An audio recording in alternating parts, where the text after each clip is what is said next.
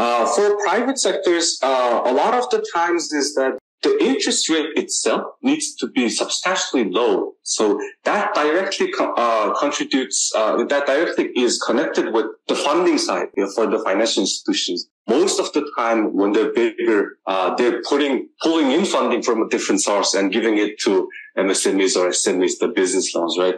So for this kind of funding source to be, the cost should be lower so that interest rate offered to the MSMEs are lower, right? So a lot of the times, these kind of uh, financial institutions are go- going into more impact financing, and they're more going into uh, women-led businesses, SMEs, right? So these kind of green financing, climate change, uh, inclusive financing, so that they can get their funding costs lower, and also they can provide lower interest rate products to the MSMEs, right?